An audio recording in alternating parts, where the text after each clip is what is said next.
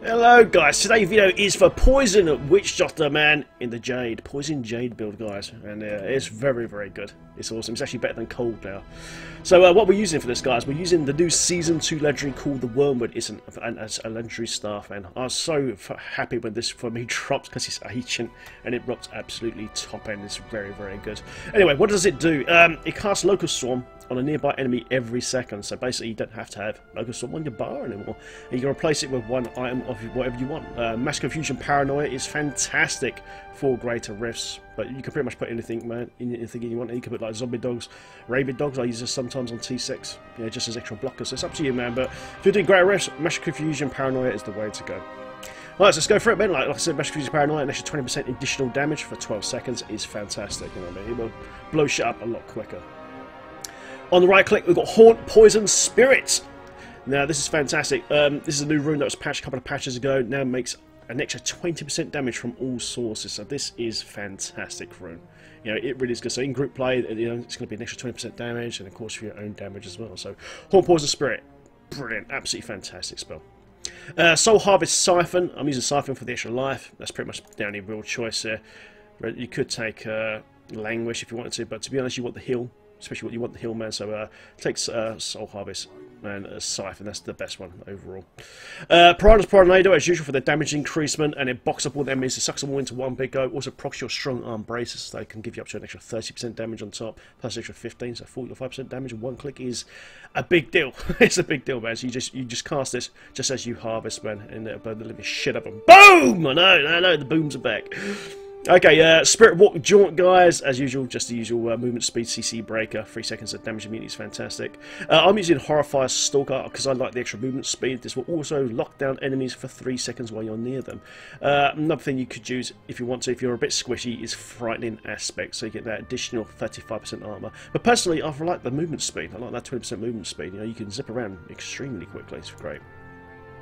Okay, uh, passives, as usual, Spirit Vessel, Self-Res, also takes 2 seconds of Horrify, Spirit Walk, and Soul Harvest, you know, so straight away, it's fantastic, you know, this is a must. Grave Injustice, as you're killing enemies, you get an extra cooldown per enemy within 20 yard radius, also heals your mana and your life. Uh, Creeping Death, this makes all your DOTs last 5 minutes. This is on the passives because that way, when you consume your dots with the Jade Harvester build, it does enormous amounts of damage, so that's why it's here. And last of the course, not least, is Pierce the Veil, for that just flat out 20% damage increase increase. Lovely. Right, let's look at gear then. Like I said earlier, we're using the new legendary uh, Wormwood Staff on Season 2, which is fantastic. Uh, Jade Harvester Boots, guys, you want Int Vit, All Res Armour. Uh, on the legs again, Int Vit Armour, double sockets. Unfortunately, my secondaries on this suck a bit, because, you know, I'm still a farming man, but you want Life After Kill really there, and things like that.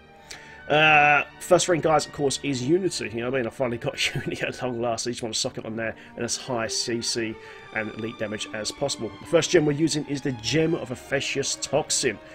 And uh, it puts big fat, big fat DOT on the enemy, which you can can consume with the Jade Harvester build as well. And on the, as you get, it's a level 25 as well. Gives you an extra 10% increased damage on top. So this is a must basically for Jade Harvester build. Uh, the belt I'm using is the Vigilante belt. I was quite happy when I found this belt actually because it was an ancient one. I was like, fucking ancient! But more importantly, it's got 8% cooldown on it, which is fantastic. And the secondaries are good as well with the life after kill, so this is great. So you get an extra bit of cooldown there, it helps a lot. Does help a lot. Okay, and the other ring, of course, is the Roaring Ring Grandeur, a must for the build.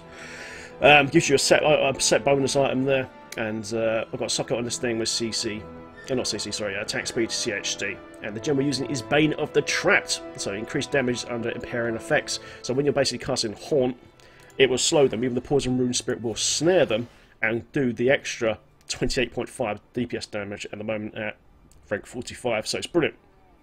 Absolutely fantastic. Lovely. Uh, so we've got Jade Harvester gloves here, Intel, CHD, CC, and of course cooldown reduction. It's all about cooldown reduction on this build. Um, unfortunately, I don't have cooldown reduction on my shoulders yet because I'm still hunting down another piece.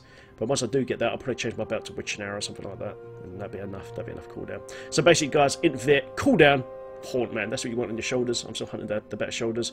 Uh, chestplate, pretty easy. Invit, Haunt, triple sockets, man. Preferably with Laugh the Kill.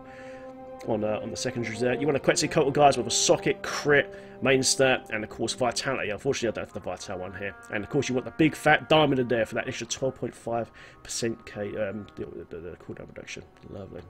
Uh, on the amulet, I'm using Squirt's, man. But pretty much any amulet you want. Health amulet would be optimal though, with your current passive. That way you can squeeze in gruesome feast, so even more DPS. But uh, just make sure it's got CC, CHD, main stat, and a socket. And the gem I'm using, guys, is a Gogok of Swiftness. Now, I know it sounds a bit strange. Why the hell are you using a Gogok of Swiftness? As I'm spamming um, my haunts and stuff, and even when it leaps to the next target, it will give me that extra stack. And as you see there, on the, um, the level 25 bonus there, gain 1% cooldown reduction per stack of swiftness, so you can pretty much keep this up all the time, and lets you soul harvest a lot more often, and therefore you do a lot more damage in the build. Brilliant. Uh, and of course we're using poison Strongarm Bracers, like I said earlier, with our Piranhado here, you just cast this, as the mobs get sucked in, it will proc the uh, the Strongarm Bracers up to, well mine are 26, but you can get this up to 30%, so I'm still on the hunt for better braces as well. And there you go. So uh, let me quickly explain how Jade Harvester set works. Okay, so let's have a quick look at the set bonuses. So 2 6 5 in intelligence, uh, mana regen for 4 set, and the 6 set. Soul Harvest consume your damage over time, effect on enemies instantly dealing their damage. So basically when you put loads and loads of On the mobs, and of course Pestilence will be coming off the snooze staff as well, you basically hit Soul Harvest and it consumes all your damage in one giant boom. It goes BOOM! It blows the living shit up, and man, all the bits and limbs go flying through the air, and it's very, very fun. So just make sure you've got Quetzalcoatl, of course with the set, and Creeping Death. And it just lets, makes all that damage go off in one big one big fell swoop. So let's go into a quick T6 riff now we're showing action. And it's very, very fun. I will firstly show you Wormwood, man, because Wormwood is brilliant. Wormwood is really, really good now. I don't think it's a Furnace beater, but I've already cleared Great Rift uh, 39. I'm currently 343 in the EU, which ain't too bad, I guess. But um, yeah, so you can look, you can just see all these you know, T's casted from the staff, and just oh well, I lagged, I had a bit of lag there. And you can see that just the DOT just on TS, T6, man, is enough just to kill everything, man. So if I, am not actually casting no spell, this is just the Pestilence staff proccing right now. Bring them away and BOOM! Look at that shit, in the fucking dead. It's fucking crazy, man. There's a little cheeky chest there. So we're going to, uh, I need these blues, man. Got to have the blues. Oh, let's pop down there. We'll see if we can find a elite pack. There's a few fellas down there. So yeah, when you start using uh, Poison Haunt now, I'm using a bit of Poison Haunt. This is when the damage gets big. I mean, you can see it's just jumping to the other targets. And to be honest, I don't even even in T6 you don't even need to harvest most of the time because the the raw damage of the DOTs will be enough just to kill most things. Right, let's just look. Look, boom, boom, tick, 20 mil, 20 mil, 20 mil. For T6, you don't have to use Gogok of Swiftness here. You don't have to use this. You can use uh, Bane of the Powerful. As you kill an Elite Pack, you have that extra damage for X amount of seconds, which is fantastic. So you can use that instead of Gogok. I am just used to Gogok now. You know, I mean? I'm used to it, using it now because uh, I love that extra uh, extra cooldown reduction.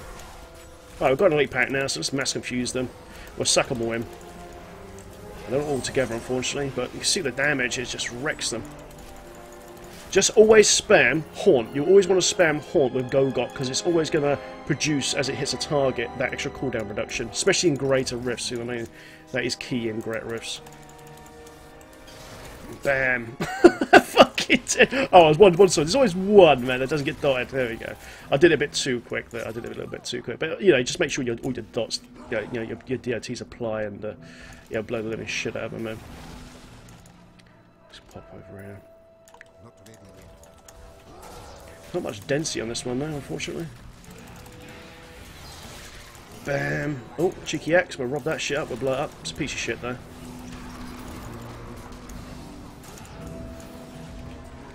Alright, we've got all these guys turn up. BAM! Fucking get blown up, you bastards. So always spam your, your poison horn all the time, because that way you're just bringing up these stacks here all the time. It's just nice. It is just gravy, man. Boom! Nice. Like I said, man, it doesn't have that like super punch of um, Furnace, man, for great Rifts and shit, but it is very, very good for trash, though. Wormwood is very, very good. Like I said, in, in beginning of this video, like I said, you don't have to use Wormwood for this build, this poison build. You can just use a Furnace and just change Mass Confusion to Locust Swarm Pestilence. You can just put it like that, and that will be absolutely fine. Because we're using Wormwood, we don't have to use this, you know what I mean? So we have an open slot here, which is kind of nice. So you can put pretty much anything you want there. You could even put a fucking slam dance in there if you really wanted to. You know what I mean? You can even put that in there. What I like about this build though, it's nice and mobile as well. You know, I can hit Spirit Walk, I can hit the rest of my stuff, and I just zip around really quick. It's very, very nice. Bam! There we go. And they're fucking dead. Pick that shit up. But most of the time, though, when you're just doing trash on this build with Wormwood on T6, you don't even need to cast Haunt. You don't even have to cast it. You can just literally just walk up to the mobs and just use that. Just use that that DOT. That's normally enough. Oh, that was good, man. Oh, you just survived but just a, a touch of damage, right? A touch, you bastard. But it's very, very good, man. It's a very nice build. I like it a lot, actually. Let's do these fellas down here. Boom, boom, boom. Bam! They're dead. What about you guys? You want some as well? Boom! You're fucking dead as well. What the fuck? it's fun as fuck, man. I'm not normally a massive Jade player, to be honest. I normally like playing Pet, but ever since I've been playing with Wormwood, the build has grown on me. You know what I mean? I'm a lazy player. You know what I mean? I'm a lazy fucking player. I don't like clicking on too much shit. Because I'm old and shit now, guys. I'm fucking old, but... Anyway, this is this is fun. This is fun though. Remember, you guys, you can use your Horrify Stalker here. Remember, it will immobilise them for three seconds as well. So look, go up to these guys. They're stuck for a little while, and boom, they're dead. Lovely. Got to pick up this Death Breath, man. So I've been trying to upgrade my craftish stuff on my doc for my pet build recently. Boom. And you can see it just fucking trashes. Unfortunately, we don't have the best density rift here, not if the, if the density is really, really good. Oh, hello, little fella! Hello, uh, switch out the crown here quickly, because I, want to, I need some extra, uh, need some extra fucking uh, gems here. Boom, you little, little, little bastard. Lovely, man. Gives those extra topazes. Lovely, lovely. Always left this little fucking sack, poor bastard. I'll zoom out very quick. I mean, it's nice though, it's a good build, man, it's a good build. Like I said earlier, though, I don't think it's a furnace beater, but it is good. It's a very good weapon. You know, I was really, really lucky to get this thing roll unbelievably well, and uh, it's really helped me on uh, season two.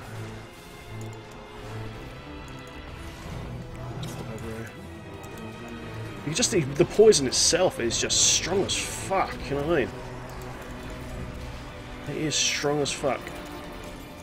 And where it's autocasting all the time, you know, it's autocasting all the time, it's just free damage, you know what I mean? So you can put anything here, you know what I mean? You can put absolutely anything you want. You know what I mean? Slam darts would have been a bad idea, to be honest. Keep that for a Rift Guardian on a great fucking Rift or something. But I do think probably Mass Confusion Paranoia is probably the best way to go. Like I say, if you don't feel too confident on your Jade Doc and you're dying a lot, you know I mean? You can put on like Rabid Dogs here, for instance, as well. You can pop, pop this on and have a bit of off tanking so that it holds up all the mobs.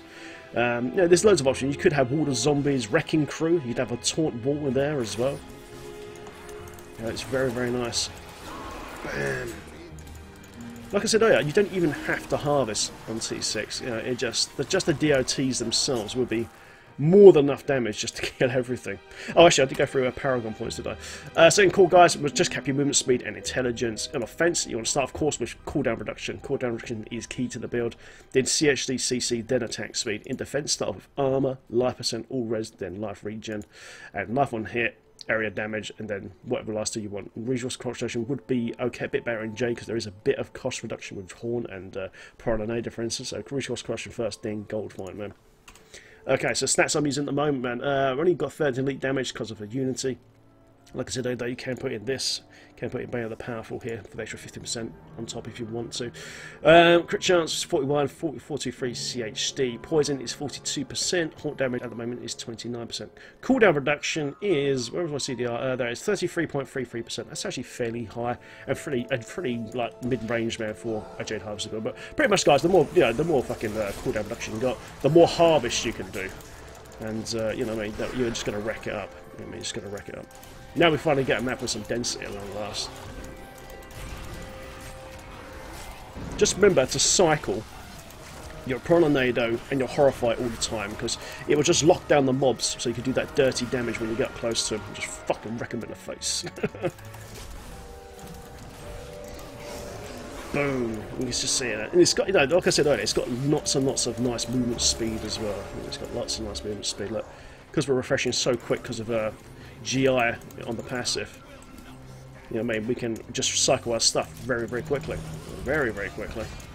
Just suck them all up and then detonate. Boom! You fuckers!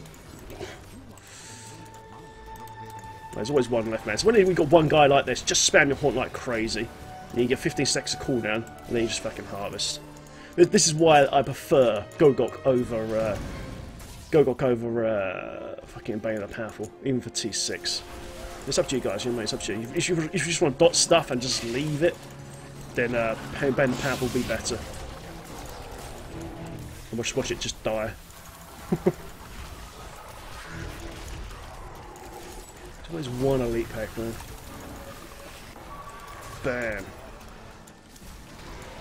There we go, guys. Almost done now. Just kill this last fella. Remember, guys, but just before you go and harvest, always do drop the spirit, uh, the uh, the Tornado first, so it amplifies your damage a lot. Okay.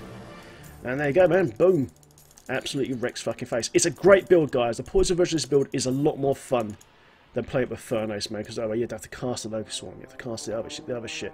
You know, this this stuff just makes it so much more fun to play. Like I said, I know I'm not a massive Jade Harvester fan, but this will make you go boom, boom, boom! It makes you bloody boom the fucking shit out of it, man. It's very, very good. Very good. And there you go, guys. I hope you enjoyed today's video. This is Poison Jade Harvester build for Season 2 using the Ancient Wormwood, man. This thing rolls sick as well. It's really good. Really good. Anyway, guys, as usual, guys, please like and subscribe. If You've got any comments below, just chuck them down there. And I'll see you guys soon. Cheers. Goodbye, man. Have fun in Sanctuary. Ah, boom!